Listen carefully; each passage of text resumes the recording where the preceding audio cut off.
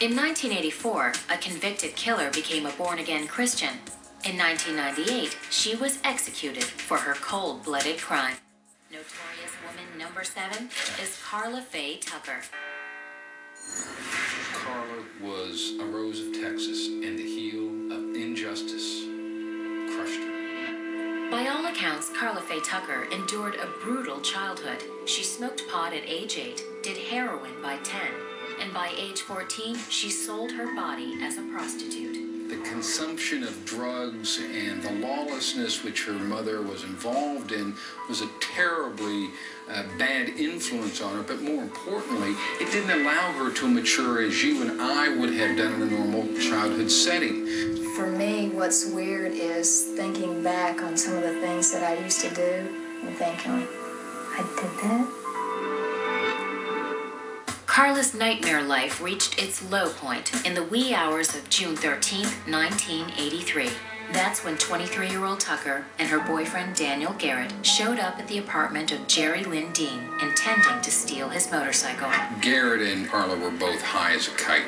You name it, they had it in their system. Everything was ramping them up, ramping them up, ramping them up until on Sunday night she says, and I think this is pretty much a direct quote, we was overamped and we needed something to do. Karla and Danny found Jerry Lynn Dean in bed with a woman he'd met the previous day, Deborah Thornton. Karla and Danny proceeded to brutally murder Dean and Thornton. The male victim was hit with a pickaxe 31 times, the female victim 26 times. She bragged about it profusely, made the comments that uh, she had derived uh, sexual pleasure and orgasm with each pick of the pickaxe. They were boasting about it, and her sister and his brother heard so many of the details of the crime. They said these two are crazy, and we're going to be next. And so, 35 days after the crime, they went and turned them in. On September 13, 1983, Karla Faye Tucker was charged with capital murder. She pleaded not guilty.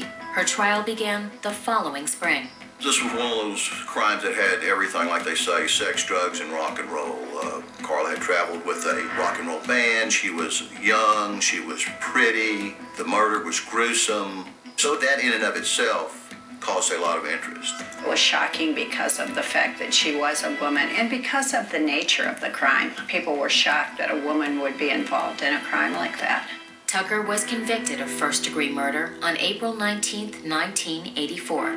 A week later, the jury sentenced her to death by lethal injection. She had done something horrific and she bragged about it. And so the feeling mostly was if anybody deserves the death penalty, she does.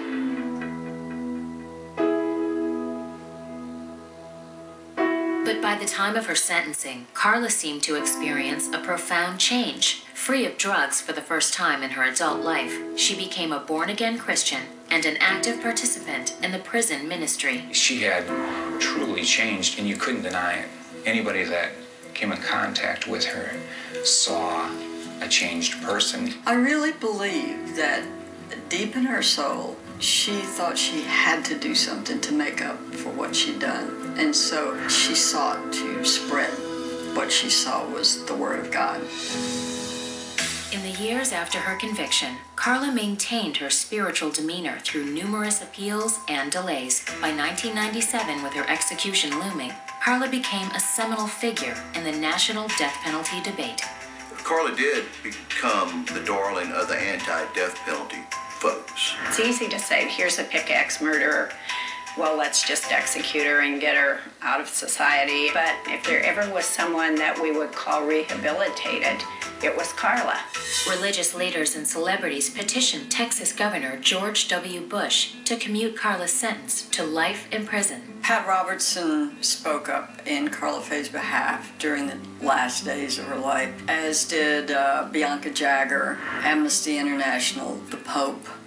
She was a shining example of redemption and what that somebody who does something terrible can still be saved, rehabilitated.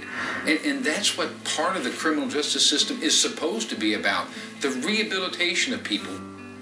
But not everybody was so forgiving. She could have granted my wife mercy. She could have commuted my wife's sentence. but she did not. She sentenced my wife to death. The governor said he prayed for guidance on the issue.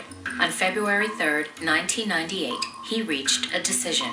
He declined and said um, that uh, God would decide uh, that it was not within his power to, to do that. The following day, more than 200 reporters descended on the Huntsville, Texas prison.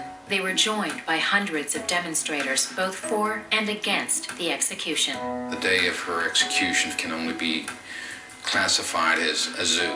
There's always some protests when people are executed, but nothing like this. Nothing like this had ever happened.